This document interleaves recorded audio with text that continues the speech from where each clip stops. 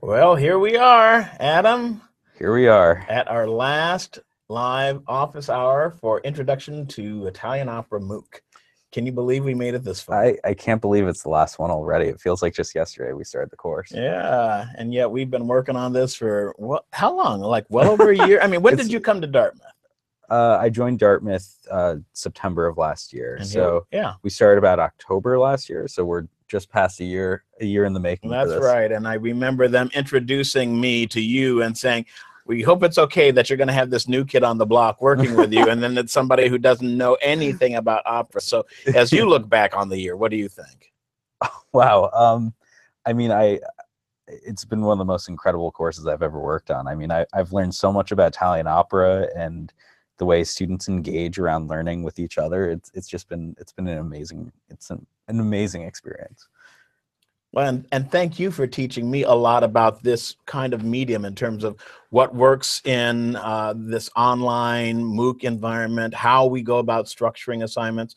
Um, as you know, this is very different in many respects from the on in class version of the opera class I teach, and we'll talk a little bit about that later on in this live office hour. But thank you for being on this journey with me, teaching me a lot, and hopefully all of us together have learned uh, a lot more, not only about Italian opera, Yeah. but also how to learn in this MOOC environment. And thank you for teaching me as first student. You you bet, Adam. so um, Yeah. on so- to some of the details about our live office hour. Yep. So just a couple housekeeping things. So how to ask questions during our live office hour. Um, you can ask questions in two ways. You can use the Q and A tool that's built into Google Hangouts. You'll find that on the right side in the app. Um, you can also uh, use the discussion forum that we have set up for this live office hour inside of the the edX course. Uh, and memory will be monitoring both of those. Okay. And as always, we have a few little housekeeping details to pass out to everyone here in our community. A couple of final housekeeping things yeah. So um, the due dates in the course are all set to november 24th at utc 0 uh, so that is the last time you'll be able to turn in any assignment for it to count towards your grade. Um, certificates will automatically be generated at that point based on whether you have a 60% or higher in the course if you run into issues uh, we're not entirely sure we're, we're kind of learning the certificate workflow as we go and they've recently changed that for the team side of things, uh, for the course team side of things with edX. If you run into any issues and your your certificate hasn't posted within a day or so, uh, contact edX support directly if you run into issues with that. Some other final final items as we're rounding out at the end of the course. We have a survey posted in the course on the bottom of the left-hand navigation. We're going to keep this open for a week or so. Uh, we really are looking forward to getting your feedback about the things that worked and didn't work with this course experience. Um, as you might remember, this is our this is our first time doing a MOOC, and it's our first time doing this MOOC specifically. Uh, so that feedback is very much welcomed. We'll also be launching a, a really fun and exciting finale, uh, which is which is exciting. We we've been waiting for this to launch for a while. Uh, so the finale will launch tomorrow, and you'll find that as another subsection on the left-hand navigation. The course will be available after November 24th and 25th as an archived course. We'll get to this a little bit more when we get into the questions uh, because there were some specific questions about that. So I'll, I'll handle that at that point. And now let's dig into some questions from everybody else. Well, before we do that, I want to say a little bit more about the finale because we're Please. a little bit unclear uh, about what actually you're going to be able to see on the course. Because in some ways, the this finale lecture is similar to what I do in class, which is much easier to do when we're in a room and behind the Dartmouth firewall, where I can show examples that are clearly copyrighted. And so we're not quite sure uh, if uh, the powers that be out there in these in cyberspace will let our videos go through. So we have a couple of options, and we'll probably put some text on there so you can know what we were hoping to put on in, in case the thing that we hope to put on is not there. But there are a lot of Easter eggs in that finale, and we hope that we can deliver them to you uh, tomorrow. So uh, by all means, try and look at this finale as soon as you can, because uh, if the takedown notices come, uh, you want to be able to have seen it in uh, before that happens. Most definitely. All right, now on to our questions. So the first question uh, was one that we had last week, and I mentioned at the time that I thought I might come Promise back to it. Yep. So uh, I'll I'll just go ahead and read it. It was uh, Jordi Prats Rodriguez asked about if operas are faster nowadays, and specifically asked about La Cenerentola and the fact that in the score that uh, she or he saw, uh, it indicated how long the overture should take. Uh, and so I, I said I'd look at some things. And so we've got some slides for you to look at here. The- One of the first slides I, I found online through um, just IMSLP, a very Okay. useful place to go if you're looking for uh, manuscripts and, and um, scores of just about anything that's in the public domain. And so here's an undated manuscript of La Cenerentola. And the important thing here to notice is uh, there is no uh, indication in the corner, uh, any corner, that says how long Mhm. this will take. There's also, very interestingly, no indication of how fast to play this, like Mhm. no tempo marking, no Mm. metronome marking. We get the that uh, tempo marking in the next slide, which is the first page from the critical edition of La Cenerentola that I just uh, scanned from uh, our music library here at Dartmouth. And so there it says maestoso. So it gives us an idea of how fast this is supposed to be played. But here again, we don't have either a metronome marking that tells us exactly how fast maestoso is, nor does it say on that very first page how long the entire overture should take. So I, I'm imagining that this individual saw a score that some other editor uh, penciled in or wrote in that it would take approximately 10 minutes, maybe to help people know how long the entire opera was Mm. supposed to take. But based on my limited research on this, uh, that number that it says that overture should take 10 minutes uh, doesn't come from Rossini's hand. So there, there's Glad we had that follow up. all right. So now we have another question. This one deals with a question about close listening. So, how do you recommend us opera nuts to approach a new opera in the future, especially if we are not familiar with the composer's idiom? Man, and he mentions two composers. We'll get to them in a second here. So, um, so there were a couple of things. First of all, I love the fact that uh, Franklin O is talking about opera nuts. Yeah. So, um, I, you know, I- don't know where We've people succeeded. started out when when they came into this class. I mean, there were obviously some Yeah. people who knew a lot about opera, but a lot of people who didn't know much about opera. And so, uh, Franklin's, oh, I don't know if you were a nut before you came to us or you've become a nut. Um, reminds me of almond joy and mounds. All of a sudden, sometimes you feel like a nut, sometimes you don't. Anyway, um, first of all, there are few things that uh, we can know about everything. And so when it comes to all of the operas out there, um, we you can't know it all. So one of the things, the one of the big tools, if you know, a set of tools that we wanted to give you all in this course uh, were uh, were understandings of all these different opera moments, like Handel or Mozart or Rossini, Verdi, Puccini, that we talked about these operas and gave you tools to understand those operas that then could be turned loose on operas from those periods. So Mhm. if you learned something about bel canto opera and you learned, uh, you watched a Rossini opera, that should serve you in good stead if you're looking at Bellini or Donizetti. Uh, the same way, if you looked at Puccini, uh, then that will help you when it comes to um, doing the work with um, like Giordano, Cilea, all these other things. So, um, what I'd say then, in terms of the particular operas that uh, this question has raised to us, is whether or not whether or not um, Birtwistle and Adès, these two composers, are We went off air. Okay. The computer up. okay. Do we know where it froze? At the, when you were answering this question. Okay, so are you rebooting? um, Yeah, I guess we will have to do that. Okay. And we can't get uh, anything in until we reboot? Right. Okay. I, I noticed the screen froze, and so I was like, uh oh, what is that? Um, remember, you might be able to type Oh, into the Q and A.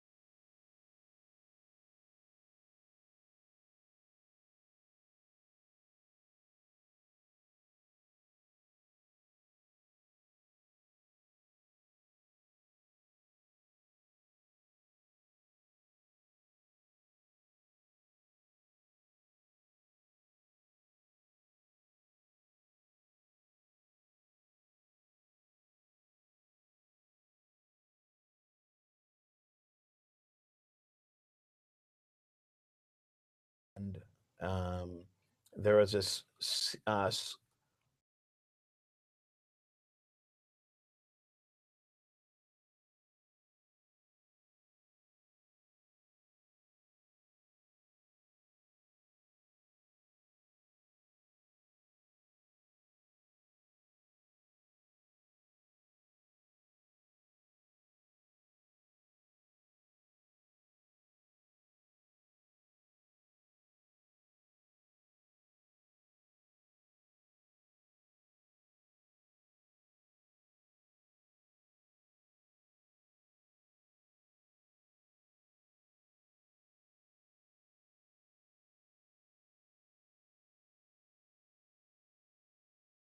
s- in the middle of the performance, all of this is happening. And then uh, uh, they fix whatever they needed to fix. I think we're live. Okay. We'll know in a few minutes. Okay. So uh, here we are, uh, kind of waiting. You know, people are buzzing about uh, in the auditorium. And then finally we go back. And I think they must have done some doctoring of both the super titles, which at San Francisco were broadcast above the screen. So I'm telling a story about um, the fact that we went off line and now that we're back on and talking about this happening in a live opera with Doing Don live Carlo uh, and San Francisco Opera, big metallic clank. And um, so they cleared the scene, brought down the curtain. I think they must have changed some of the super titles in the middle. And so it's Carol Vaness, as I seem to recall, was a, the woman singing here. And the first words she sings were, were where was I? And then she continues on her her aria, and it was like, like okay, that was that was a nice way of, of, way you know, coming coming back to the middle of uh, Don Carlo, which, as I've told you before, is one of my favorite Verdi operas. Hmm. So here I was in the middle of answering a question Right. about, uh, well, what do you do if you're going to go to an opera and you've never been to that opera before? Mhm. Uh, how do you do this? And then there were was a specific question about two composers.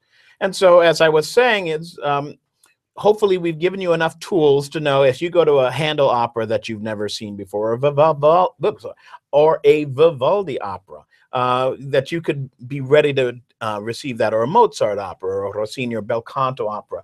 That we've given you tools to be able to apply across a wide range of Italian opera. And we've stuck with Italian opera uh, in many respects because it's some of the most easily accessible opera, um, as well as uh, it ends at a certain time. I think I was telling you how uh, Jeopardy just the other day had a category called the Metropolitan Opera, and four of the My five sister answers. told me about this too. Yeah, four like, of the "Thank you for five thinking of me with questions, if you will, uh, were about Italian opera. Yeah. So I thought that was very That's fun. interesting. So uh, Franklin O, though, asks about two English operas uh, by two composers who are still alive, Birtwistle and Adès. Uh, uh, Birtwistle is in his 80s, Adès is in his 40s. Uh, how can you prepare to listen to these uh, operas? And it's somewhat similar to what I would say is uh, if you can listen to the sound, uh, the, both the sound world of those operas, as well as if you can get your hands on the operas themselves, you'll be much more prepared than to enter into the musical uh, universe that they will describe for you. In the case of Adès, I, I'm quite excited that uh, Franklin O asks about that. The Tempest, which is uh, Adès's second opera, is an opera I've seen both in Covent Garden Hmm. uh, in 2007 and then at the Met a couple of years ago. And I, I, I will tell you, I will go out of my way to see that opera. Those people who talk about how the, the libretto is um, makes a, a problematic opera out of that work, I disagree with them Hmm. and uh, feel like you need to go see and hear that opera because it's remarkable, remarkable singing. But one of the things I did is I, I happen to like Adès's music, so I, I know that sound world, and so then when I step into it, I'm much more able to appreciate what's happening dramatically. Do you have specific tips for like going into that composer's world, learning more about kind of uh, learning more about them, their creative process, and some of those things before you go to the experience? Well, this is uh, kind of like weeks two and week, Yeah. three of our class, right? So week two, you learn about the history.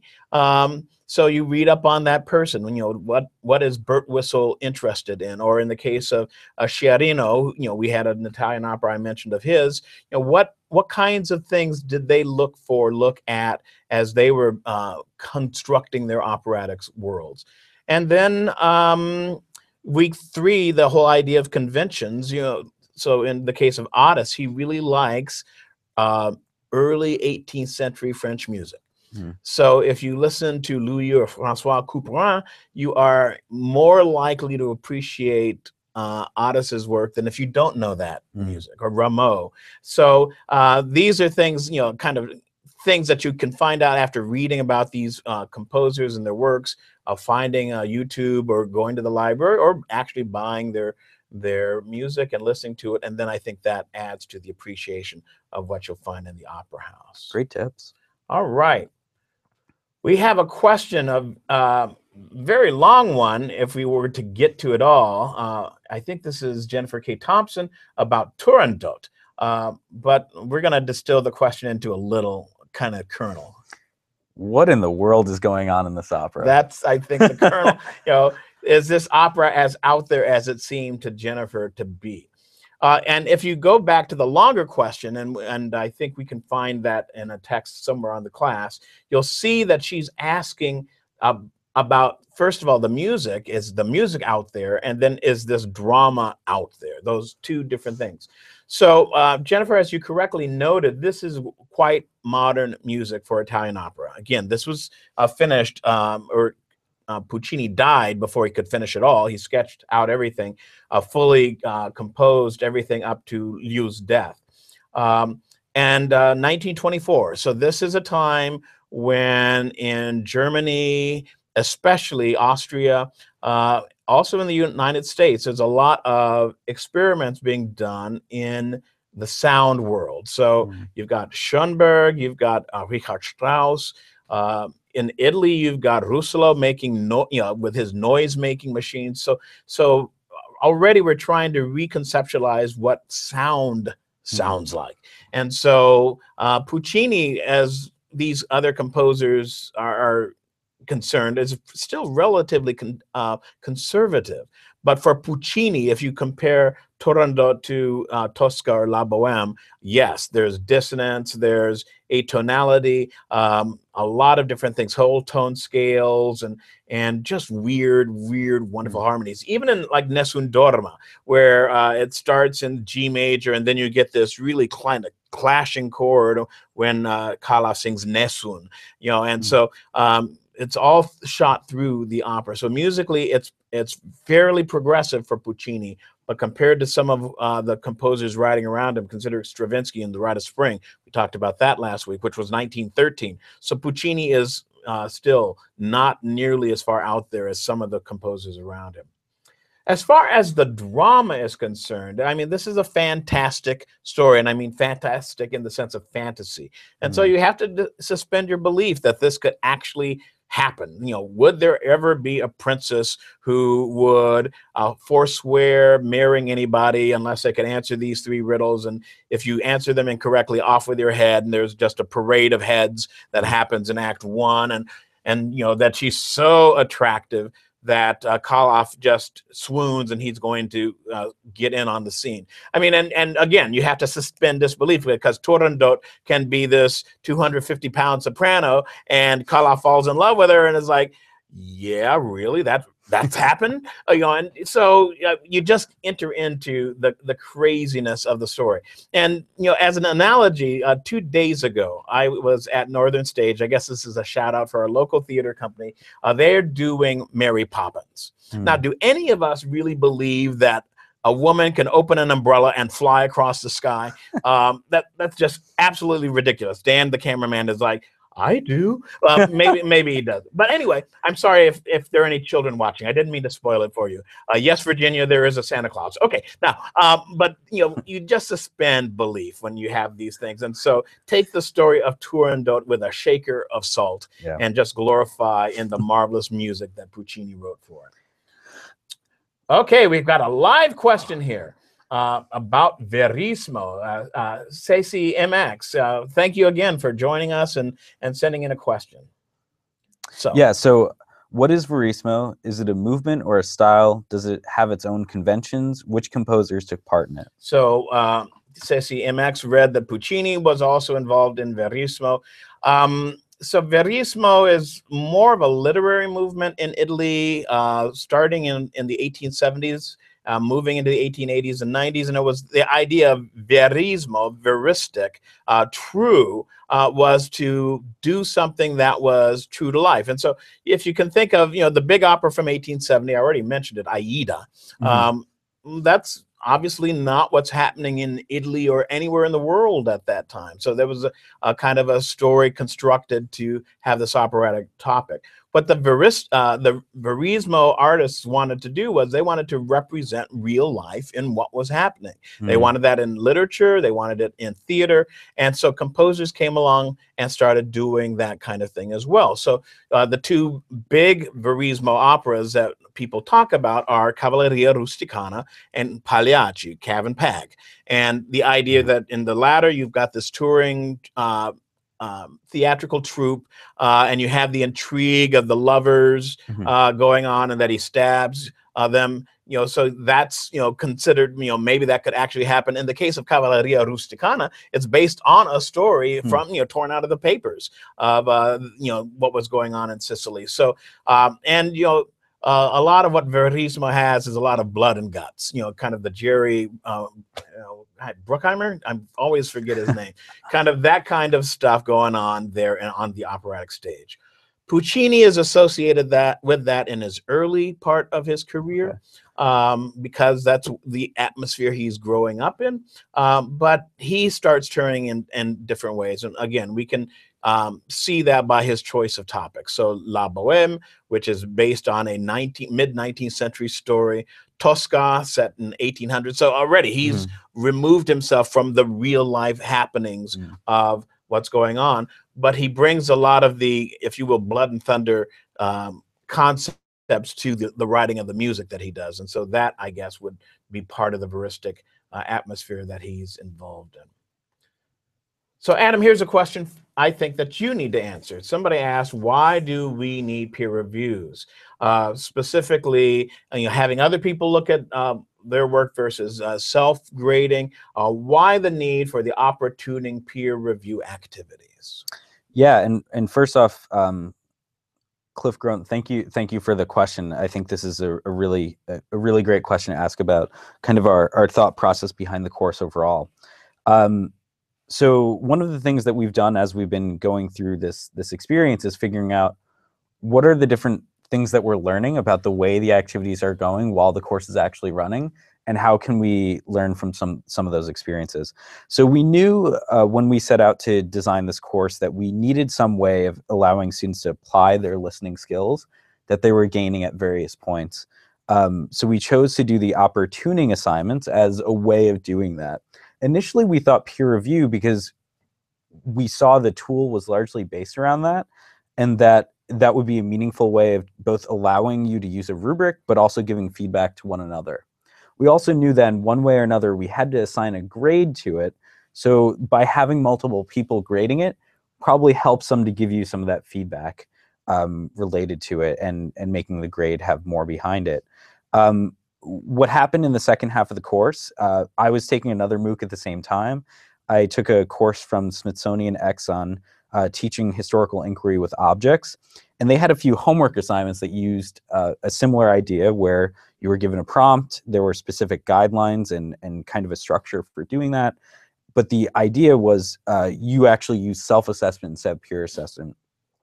We talked about as a team and we we thought you know let, let's give this a shot. Let's let's see how this works for our students.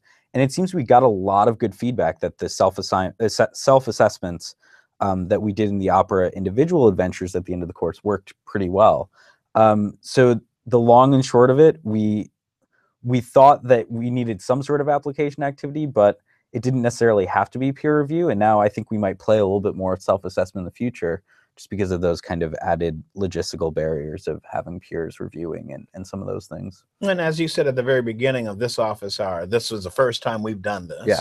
And so we've been learning as we've been going through this. And uh, you know, use that survey at the end of the class to tell us what worked best for you, what you would like to see if we reconstruct this course in uh, the next time we offer it. Uh, so um, that's I, I'd say how all that comes uh, to uh, bear on all these issues. I should add one other thing. We're we're really disappointed to hear that people found some of the feedback there uh, depressing or even discouraging, as as the student asks. But um, you know, what what we really want to do is we want to give feedback and and structure that in such a way to give constructive feedback. And I think with self assessments, it'll allow us to do that in a way that motivates students to continue through the course too. All right. So, uh, Jordy Prats Oop. Rodriguez, we answered a question, uh, you know, from last week from this person, but now here's a question about from this week. So, Are spoilers a convention or are they just a narrative device? and just noticing that, uh, you know, this was also a Cenerentola Mhm. where this occurred, uh, but also mentioning that it happens in um, La Traviata Fanciulla del West. And I, I, I'd like to expand it beyond just opera. I think this is uh, just a basic dramatic um, function that we often see in dramas. So we were talking about this beforehand. Uh, one of the things that came to my mind within the operatic world was Rigoletto. Some of you saw Rigoletto. Um, and um, you know, early on, Rigoletto is concerned about uh, Monterone, who issues this curse. He's like the maledizione. Act one ends with him talking about, you know, what does it mean that I've been cursed? This maledizione. Well, we get to the very end of the opera, and that, those are the last words of the opera, Mhm. la maledizione, as he realizes the curse has fallen on him. So uh, Verdi and his um, librettist at the very beginning here start to tip the hand that there is this curse, and now we're going to have to wait and see how it's fulfilled. Uh, I was also thinking about, you know, to step into another world that I know a lot about, and that's the world of Stephen Sondheim. Um, you, if you know Sweeney Todd, there's this character that comes very soon in the in the musical, a beggar woman who says to Sweeney, "Hey, don't I know you, Mister?" And um, and he shoos her away. She'll come back periodically at different moments. I won't spoil the surprise for those of you who don't know the show, but uh, right there at the very beginning, we're tipped off at there's something maybe we should be watching for when it comes to this woman. Um, and then in memory, and Adam and I were talking about the Wizard of Oz again, back to the Yeah. film, where I think when we think of the Wizard of Oz, we always think of the the whole uh, dream sequence and the color part. But if you look at what happens before the tornado arrives, you know everything about the rest of the movie. It, it tells you, it lays it all out for you. So, are these spoilers? Is it foreshadowing? Whatever it is, it's part and parcel of dramatic works, and Mm. uh, so no surprise that we find these in opera. So, um, here's another live question. Uh, Jennifer, you asked it uh, to us, so let's see if we can address this one. Are there any 20th century or 21st century operatic conventions? That is, anything that was introduced after the end of the 19th century? So, very great question. Um, and you know, one of the things when I think about music in the 20th and 21st centuries, uh, in many respects, we lose the grand narrative, what I would call the grand narrative, where uh, Verdi builds on bel canto and Puccini builds on Verdi. In the 20th century, people start going all their own different ways. And so it's difficult to say there's one thread that can run through all these different works because different people are drawing on different traditions uh, within like a geographic area. So you've got Stravinsky in Paris, you've got Ravel in Paris, you've got Prokofiev in Paris, all doing somewhat similar but slightly different things. And how would you how would you compare them? So um, I think at, at this point you are looking at composers and what are the kinds of things that composers do uh, within and across various works, rather than say, okay, here's here's a convention that Verdi and Payer and Mercadante will all use more or less at the same time. So um, no, there really aren't in the same way that we have like uh, Cavatina or sorry, Cantabile, uh, Cabaletta, Mhm. or uh, the way that uh, preludes or overtures behave. We don't have that as much in the 20th and 21st century. I think there are some moments. So you know, we mentioned this opera before uh, last week, The Ghost of Versailles, Mhm. that use o- early conventions in a kind of a winking fashion to say, you know this, I'm using this, uh, so you you can appreciate that this is the cabaletta or this is the mad scene. Mhm. Uh, but um, you know, composers don't, by and large, uh, follow conventions the way they did in the 18th and 19th centuries. Interesting. So Marie Anita C. There we go. My my West Side Story comes I know it comes back again. Yeah. Uh-huh. She's asking about notes in operas. Yeah. So, Steve, do you have a favorite note plot in Italian opera? And maybe if you could give some background about what what we think a note a note plot. So yes, so Maria's asking about uh, notes that lead to confusing and tragic moments in operas.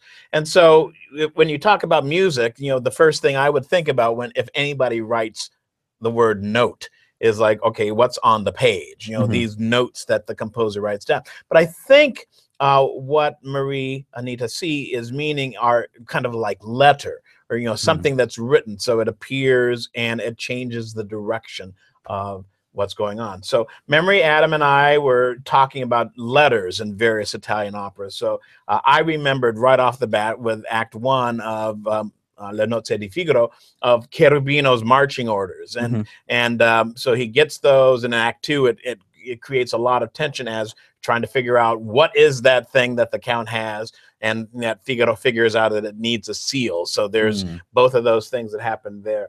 Um, it was um, I can't remember who remembered. I think it might have been you, Adam. it was. Remembered about Rosina dropping the note off the balcony to Almaviva in Il Barbiere di Siviglia, Mhm. and how that then becomes a, a an interesting turning point as he then in uh, finds his way in. I was thinking about the apology and invitation that comes to Falstaff in Act Three that uh, gets that whole act in motion about he needs to meet this person at a certain time. Also reminds me of, of the note that um, uh, the Count gets in Act Four of Le Nozze di Figaro. So there's those two. Um, the letter uh, Alfredo's father sends to Violetta in La Traviata, and she, you know, she reads it with this melodramatic music underneath, and then she cries out, "È tarde! It's too late!" It's that's that's pretty powerful. Um, was thinking about Ca- Cavaradossi, and we talked about E Lucevan Le Stelle, and he's writing that note. So, um, but you know, so a favorite? It's like I list all those. You know, I, so I love, love, love the the reading and rewriting of the will in Gianni Schicchi. So that's not a letter per se, but that that whole dramatic sequence of uh, what needs to go into this piece of writing is Mm. really quite funny. And uh, since we've dealt with mostly tragedies or Mhm. comedies that are, are not really funny, I really suggest you go look at Gianni Schicchi. It's all of one hour long, and Mm. uh, you will be cracking up. Um, now, if I could go outside of Italian opera, I think uh, Tchaikovsky's Yevgeny Onegin, Eugene Onegin, uh, and the famous letter scene where Tatiana pours out all of her thoughts in a letter. It takes her 14 minutes to write this letter Mm. uh, and sing this letter. It's really quite astonishing. And then I was also thinking about another note or piece of paper that gets stolen, and um, that is reappears in a, an interesting place. And that's when uh, Sixtus Bes- Beckmesser uh, takes a song that he sees that Hans Sachs has written down, and he's like, "Okay, I'm going to sing this song, and I'm going to win this person's hand." And he tries to do it, and he can't do it at all. Mhm. And he's like, "Well, Hans Sachs came up with this," and it's like, "No, I didn't." Walter came up with it, and so Walter sings the prize song. This is uh, in Wagner's Die Meistersinger von Nuremberg. So that's another letter um, that uh, comes to mind. So, uh, do I have a favorite? I, I just like them all. I really like them all. Okay, Adam, here's a question for you.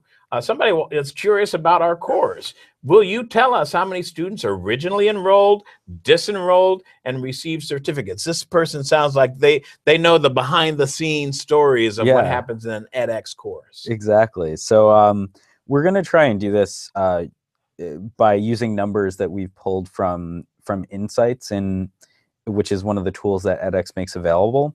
Um, we should start by saying this this first visual is an overview of enrollment, um, but just really quickly, we've had up to this morning when I when I pulled the the grade report, we've we have 73 people who are receiving certificates as of um, as of their their grade standing this morning. So to dig a little bit deeper into the actual enrollment numbers, so the total enrollment here, um, and this shows this over time. Um, the area in blue is the number of honor track uh, or audit track students. The area in pink are the verified certificate track students. Um, and you can just barely see the pink on the top. The total enrollment for the course, which includes all enrollments and unenrollments in the in the course itself, is 7,254. That's as of the end of the day yesterday. Our current enrollment, which uh, which takes out the unenrollments, is 6,275. So we've had about a thousand people unenroll. Um, and there's been a change of 44 in the last week. Uh, we have 33 students who are on the verified track, meaning that they've signed up for the verified certificate, although not all those people are actually on track to get a certificate. Hopefully they're doing their work at the last minute today, right? Yep. Um, so really quickly, just some other information I think that's interesting as a part of this. Um, we've been really interested in the demographics of our learners as well. So our median student age is about 34 years old. 26.3% uh, of our students are 25 or under, which So I think is a quarter of the class. a quarter of the class. And and you know, opera gets this bad rap for, for being something that only older people connect with, and I think our course says no to that. Um, 34.6% are between 26 and 40 years of age, and 39.1% are 41 and over. Something we're often curious about on the education side of things are what are the the various um, education experiences of the students entering into our course.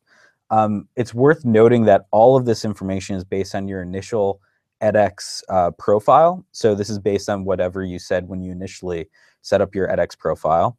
Um, we have 19.6% have a high school diploma or less. 35.6% have a college degree and 42.5% have an advanced degree. So that would be either a master's, doctorate, or, or other level. So it, it's kind of interesting uh, to dig into some of this information. Um, I hope I hope that gets at some of what what Stephanie or C Stephanie was was looking for. We'll probably need to dig a little bit farther Yeah. to see exactly of the people who are on track to get certificates or the people Mhm. who've been very active in the course. And where do they fit into all these? You know, do we do the younger people fall off? Do do the, are they also completing all this work? Yeah, we're we're hoping to create a one pager that kind of tells the story of the course and some of the students' experiences. So perhaps that's something we can share out on social media at least once the course is is finished. But uh, we have a lot of work in Excel ahead of us. I think. Okay, good enough. So here was a question uh, from Sadie T, uh, who asked for a reading list, and you know, and um, wow, I, that that could go on forever. But here, you know, what what is Sadie asking for us? So could you recommend a general reference book that would cover major operas and would offer facts and suggestions about what to listen for? So, I mean, there are a number of books out there, and um, I can tell you right off the bat, I haven't written any of them. Uh, so, I don't get any kickback about what I'm going to recommend. But when I first came to Dartmouth and was looking around uh, for a book to teach opera, you know, I'm trying to figure out how do I balance scholarly rigor with drawing people into understanding what is um, at its base a form of entertainment. Mhm. And one of the books that uh, was new when I came to Dartmouth was called is called The Story of Opera by uh, Somerset Ward. There's a slide of it there, and uh, it goes in and out of print. Uh, you can typically get it used. And I, I find the book just so wonderfully compelling because, as you can see uh, right here in this slide, that's a, a shot from um, it looks like uh, the uh, the Magic Flute. Um, there there are so many incredible photos in there. So it's a coffee table book, something that uh, people would uh, be happy to put uh, in their living rooms and have people thumb through. And then you could show people, oh, yes, yes, I took this opera MOOC and let me tell you about Aida or let me tell you about the marriage of Figaro. And then, then you get a chance to brag. Um, but it also has wonderful stories about the com- composition of the operas, people who've sung in them. Um, uh, certain moments in the operas that stand out. So that would be the book that I'd go to. I have other scholarly books I could refer people to. Uh, and we've not really said this before, but you can write to Adam or to me or Memory here at. Dartmouth, and we're, we're happy to answer uh, your other kinds of questions that you might have. So feel free to um, to do that as well. But that would be the one book I'd say you ought to get uh, going. And th- then I'm going to go to Amazon, and if it's sold out, I'm really going to be upset with everybody. but anyway. So uh, Joanna five, uh, sorry, jo- Joanne three five two has asked the question: about you know she can't hasn't been able to finish will i be able to access the course later so that i can finish Yeah, so thank you for for this question. Um, I- guess one of the things to to start off with is it depends on what you mean by finishing. Um, so if you're if you're planning to explore additional course materials, uh, the answer is yes. If you're looking to earn a certificate beyond the the dates we set up during the announcements part of this hangout, um, there isn't a way to do that, but we might set up for a reoffer. There might be other ways to do that. Um, so the long and the short of it, um, for all current students, you will maintain access to the archived version of the course, and we have no plan to put an end date on that as of now. Um, the only difference between that and the actual course is you can't get grades on assignments that you do that way, but you can still use those assignments as self-study tools. Uh, and the discussions will be turned off and they'll be in a read-only state. So any existing discussions will be visible. You can still take a look at those, uh, but there won't be any new contributions. And largely that's because we we don't have the resources really to continue moderating the discussion. Um, so so that that's how the course will continue to be archived. If you're looking uh, to tell your friends or family about this experience you've had, and and you're looking to share this out with other people who are not currently enrolled in the course, this archived course that we'll be setting up will also be open to new enrollments. So you can feel free to tell other people to come in, take a look as well.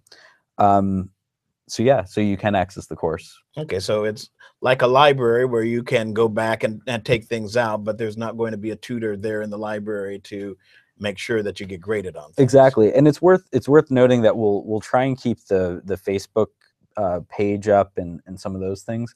Um, but you know we'll, we'll try and do our best with with addressing questions people can reach out to us directly too as Yeah. mentioned And we're still waiting for takedown notices from all the the people whose uh, uh, material we've used, and so you know things may disappear down the road if, if people decide that they wanted to sue us. But uh, we've tried to be very generous, very liberal in what we've made available to you all. And um, so uh, please feel free to keep on watching these, send sending out the links to other people and getting them definitely. involved. Uh, and uh, because that does feed into this next question in certain kinds of ways. This next, and I think it's the last question we have for this particular office hour. So yep so marie anita c asked another another question of us so what can we do to convince you to offer another opera course and man this is this is probably the biggest question we could get at this point in the course. And there was this amazing back and forth that we've tried to capture here with uh, jennifer and angela and kay Klotch and terry glenn uh, arguing about what should be the next course. Um, so french is it is it french? Is it german? French would be fantastic. so, um, well, as with all things in life, uh, it boils down to a question of time and money, right? And so, um, one of the things we were talking about, Adam and I, as we are looking at bringing this course to an end, is when will I be teaching the opera course next Mhm. here on campus? And I was planning on not teaching it again until spring 2017. Mhm. So a year plus change from now. But I've made a change in my own teaching Yeah. schedule. So I'll be teaching the course on campus this upcoming spring. And one of the things we want to do is to try and figure out are there things that we might be able to do uh, within the residential course that then would let us um, maybe capture some of the things uh, on these other language groups. Because uh, some of you might remember from the last office hour i talked about um, how on campus i teach the course first opera in italian. Mhm. we do that for three and a half weeks or so. Then i teach opera in french then i teach opera in german then opera in slavic languages and then opera in english. So i do cover a lot more territory than we've been able to cover in this mooc. So we're going to be looking to see can, is, are there things that we might capture uh, in either video or other kinds of learning uh, environments that we might be able uh, to MOOCify later on uh, and uh, come back to uh, doing a French or a German opera MOOC. And but uh, much of it will depend on time and money to do the animations and Mhm. all those kinds of things. That takes a lot of time and it chews up a lot of resources. So, but uh, we want to thank you uh, Yeah. for asking about this um, because um, it's been very exciting for us to receive email uh, both through uh, the the discussion boards or you know comments through the discussion boards or email directly to Mhm. us about people learning about Italian opera and getting excited about what they're learning and uh, being able to share that excitement with other people. Uh, we're thrilled about that, and the idea that you'd like more of it, uh, Yeah. it really kind it makes our day. It really does. So um, we have this slide about um, different kinds of opera uh, posts that along these lines that people have written uh, uh, in terms of listening skills, improving what bel canto means. Thank you. Yeah, you know, as I'm looking at this, and I'm going to have to look at it a little offline. I really hadn't taken the time to read these things. Mm, I'm thinking I'll get teary if I try and read these uh, before you all. But I do want to thank you all for going on this adventure with us.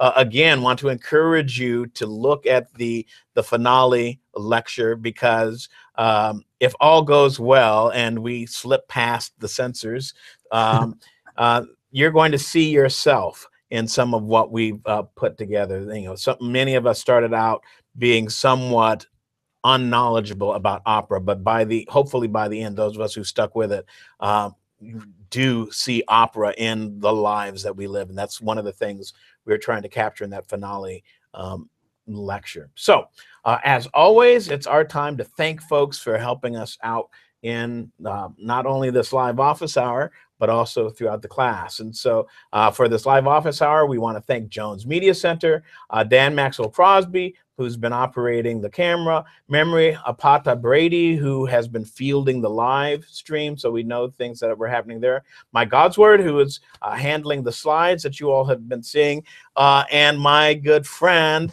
Adam Nemeroff, who has designed this course and made it work for all of us who've been involved. And of course, Steve, you. Thank you for all your time, energy, and intellect in this experience. It's incredible. So tell your friends about opera. Um, hope to see you at the Met. I'm going to be seeing Turandot on January It's 15th. exciting. That's going to be exciting. Going to see some of the simulcasts up here. Um, not only Italian opera, I'm seeing Lulu, uh, the German Ah. opera, on Saturday down at the Met. So, um, so if you're at the Met or coming up here, let us know, and uh, hopefully we'll see you then. And um, uh, enjoy your adventures in Italian opera. See you soon.